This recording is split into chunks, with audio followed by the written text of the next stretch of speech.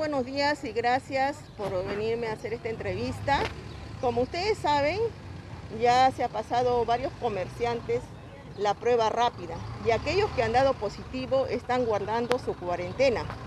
Tenemos tres calles, a los costados y al centro. Entonces, para no dejar espacios vacíos y que de repente vengan otros comerciantes de afuera y puedan poner su mercadería ahí y hacer un desorden, se ha creído conveniente ponérselo en los costados para que cada uno ocupe un puesto cerca al otro hasta que mis hermanos comerciantes que han dado positivo después de su cuarentena vengan a vender.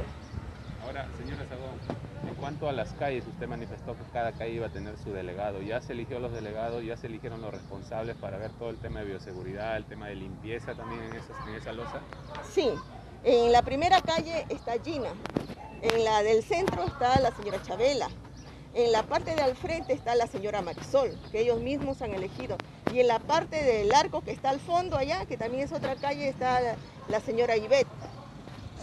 Se, llegó a implementar también, nos hizo mención de que se iba a poner un carnet que afirmaba ¿no? que no, son portadores del COVID. Eh, iban a poner en su mesita también cartas de concientización para que digan que guarden su distanciamiento. Ellos lo tienen. Ya les he dicho, ayer les he llamado que lo, que lo tengan y que lo porten. A veces es difícil, pero si ustedes gustan allá, pídanle ustedes mismos dónde está y que le enseñen, les he dicho. Ahorita voy a pasar revisión también. A ver, que lo porten adelante. Yo le he dicho que lo pongan acá, que lo porten adelante. Ellos han dicho que el día lunes lo portan todos porque van a venir los que ya hicieron su cuarentena. Señora Sagón, a usted como presidenta de la asociación y creo que también a los mismos comerciantes, un poco es la incomodidad también por el tema de los foráneos, ¿no? los trujillanos quienes vienen a realizar la venta una vez a, la semana. Sin embargo, se nota claro que no están cumpliendo al 100% los protocolos de seguridad como ustedes sí los están cumpliendo. Ahí sería un poco que entre a tallar la municipalidad a través de su área de fiscalización para que pongan el orden, el control ahí, como según manifestó el alcalde en su momento, que se les iba a dar, pero con todos los elementos de bioseguridad, ¿verdad? Buena pregunta, señores periodistas. Mis hermanos comerciantes de Cartavio, los que están empadronados hace muchos años, cumplen con todos los protocolos.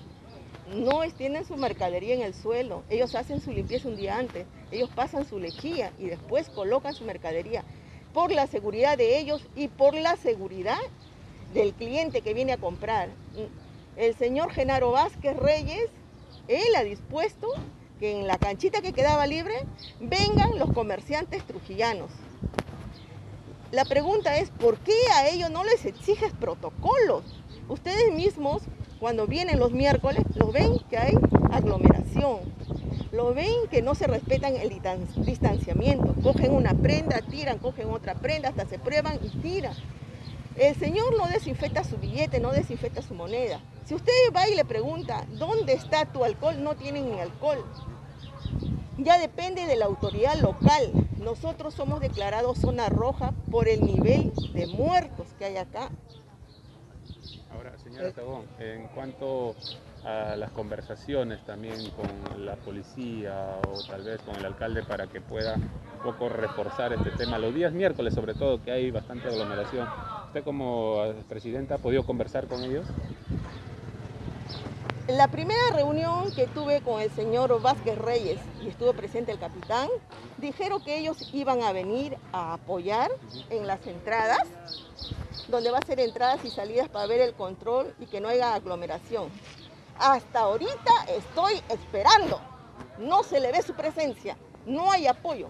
Solamente un día que fuimos a traerlo al capitán, que fui y le dije que venga porque se estaba aglomerando los comerciantes trujillanos acá. Y después no hay. ¿Estarán en su cuarentena? Ahora, en cuanto al tema de la invasión tal vez de personas que quieran eh, ingresar a la losa donde les dieron, ya no se ha visto ninguna de ese tipo porque los primeros días sí se vio. Hoy día temprano ha habido dos. Yo estoy desde las 6 de la mañana acá, dos personas trujillanas que han venido con su carro ahí y yo personalmente agarrado con mis comerciantes, que acá está prohibido, que el señor Vázquez Reyes les ha dado allá y se han ido para allá. Es, contradictorio que mientras que a las personas de nuestra localidad, como viene siendo esta sesión que se crea y el mercado incluso, se les prohíba la venta si es que no tienen una prueba rápida, si no cumplen los protocolos y vienen otros ambulantes eh, de otros sectores y se les permite, ¿no? Y sin fiscalización alguna. Tiene toda la razón. La pregunta acá es, este, ¿bajo qué parámetros el señor Vázquez Reyes está dándole para una canchita para que vendan los trujillanos?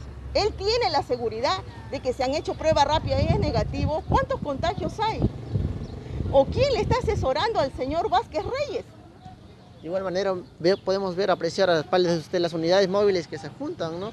Y se estacionan en el lugar que quieren, por ejemplo, en la unidad que está en la parte este, de allá. Siempre ha sido así, joven. Cuando estaban en el otro lado, en la otra canchita, agarraban las calles transversales y colocaban su movilidad. Vienen en combi, vienen en carro, vienen en camionetas, dejan sus movilidades ahí obstaculizando el tránsito. ¿Y quién les dice nada? Acá hay una autoridad de tránsito, ¿no? ¿También está en cuarentena?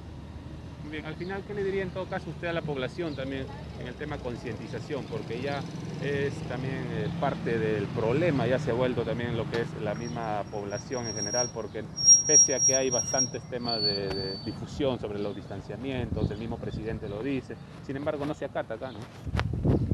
Agradezco a los medios de prensa que todos los días nos dicen los protocolos, distanciamiento, lavado de manos, mascarilla bien puesta. Entonces estamos grandes nosotros, hasta el cansancio de repente nos han dicho todos los días. ¿Qué se puede hacer? mire, allá, indisciplinado y que me vende así, un reglamento, sancionado un día no vende. Ahí hay reglamentos que ellos mismos les pueden enseñar que ya lo tienen cada uno.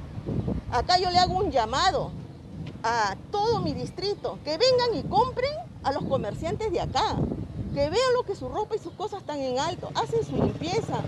Muchas son madres solteras, es su pan de cada día. En cambio ellos, lunes Paiján, martes Casagrande, miércoles Cartavio, jueves se van Chicama, Chiclín y así se van rodando en tremendas movilidades. Sean conscientes, dejen su dinero acá en los cartavinos, que ellos también lo necesitan, por favor.